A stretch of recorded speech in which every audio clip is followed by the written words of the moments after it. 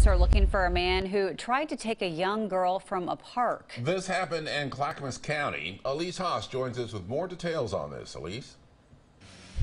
Yes, Ken and Jenny. So it was the Clackamas County Sheriff's Office who were the ones to tell us that a man tried to abduct a 13 year old girl while she was playing at the park. So go ahead, take a look at this map. It'll give you a better idea of where this happened. Uh, deputies say that the girl was playing at Milo McIver State Park and when this all happened. So now also take a look at this sketch of the suspected abductor's description. You can see that he has a full beard and other defining features. So if you recognize who this man is, or if you have any other information in regard to this case, please contact the Oregon State Police. And we'll be sure to include the specific case number for this at KOIN.com. Again, any further information or questions should be referred to Oregon State Police. They'll be handling this case from here on out. And though we don't know the specific details surrounding this, you know, attempted abduction, it is still a good reminder for parents to use this to talk to their kids and teach them